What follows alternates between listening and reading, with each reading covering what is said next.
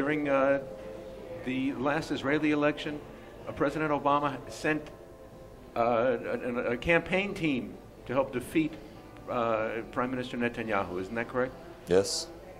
President Obama didn't get much credibility inside Israel, I think. Uh, I think most Israelis looked at Obama and didn't consider him a genuine friend, although he was very generous in his financial support for Israel. Militarily. Military, military aid. 70% of which uh, gets spent on jobs in the United States. Of course, yeah. Well, which the public is not aware of. True. But it, uh, I think most Israelis were very suspicious about Obama.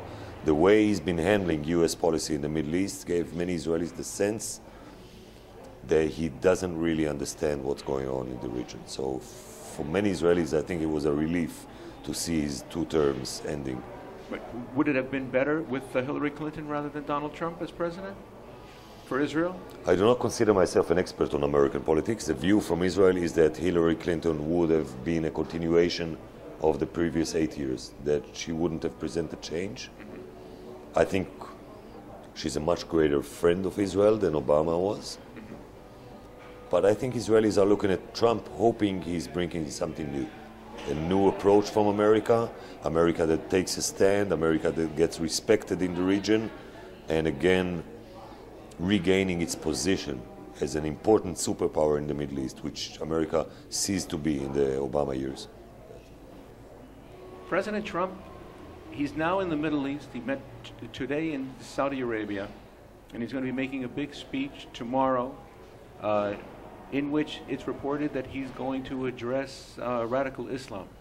How can Saudi Arabia be relied upon to defeat, to join as a, a reliable ally to defeat radical Islam when they're promoting it in mosques throughout the West? Look, there are no saints in international politics. No one is a saint, and everyone is tainted. But at the end of the day, at least the perspective from the Middle East is that the new administration can differentiate between allies and negative forces in the region. And right now, Saudi Arabia, with all its problems, and it has many problems internally and with its external influence in the region, but still is a very important US ally.